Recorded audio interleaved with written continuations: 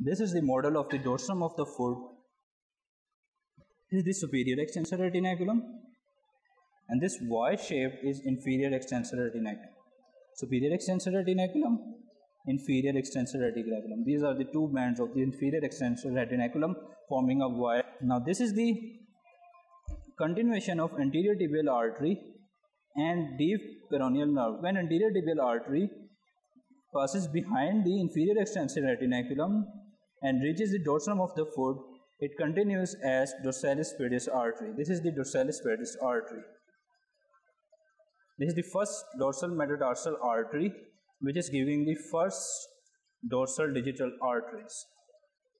The deep peroneal nerve divides into medial and lateral branches. The medial branch give cutaneous pili in the first web space and the lateral branch give the innervation extensor digitorum brevis and extensor hallucis brevis.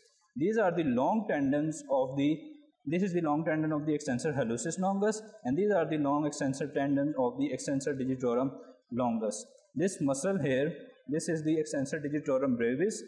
These are the tendon of extensor digitorum brevis inserting into the extensor expansion formed by the long extensor tendon of the extensor digitorum longus and on the distal phalanges. This muscle here, this is the extensor hallucis brevis muscle. This is the tendon of the extensor hallucis brevis muscle. These are the digital nerves, dorsal digital nerves and dorsal digital arteries. This is the arcuate artery, a branch of the dorsalis pedis artery. Tendon of the extensor hallucis longus, extensor hallucis brevis muscle, tendon of the extensor hallucis brevis.